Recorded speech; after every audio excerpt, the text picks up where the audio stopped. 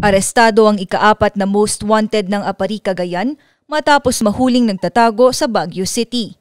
Ang sospek, 48 taong gulang na lalaking residente ng Baguio City.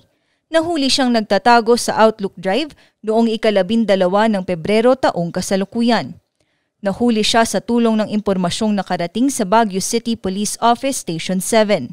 Noong February 12, nakareceive po kami ng info na nandito siya nagtatago sa Moore sa Baguio.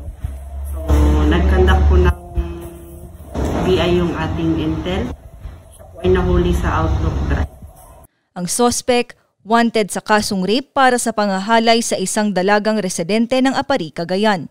Kasalukuyan naman siyang nakapiit sa isang lock-up cell ng Station 7.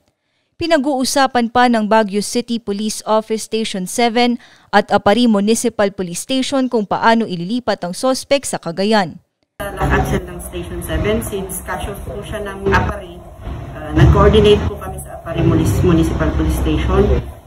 Uh, ibabalansi po natin kung ano yung mga restriction natin dahil COVID. Kung sila ang kukuha o kami ang mag-turn over sa kanila. Inaasahang sa ikalabing anim ng Pebrero ay maililipat na siya sa kustodiya ng Apari Police Station. Magsisimula namang umusad ang kaso ng sospek pagkarating nito sa Cagayan. Jada Belador para sa Luzon Headlines.